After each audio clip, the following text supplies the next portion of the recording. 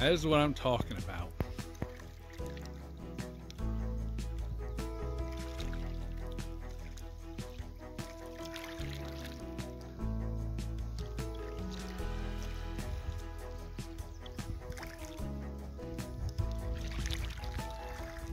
Not a soul in sight.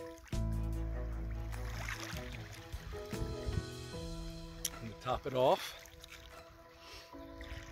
campground here has nobody here. I'm the only one. And there we are, set up, ready to go. And here's why everyone ran away from the lake today.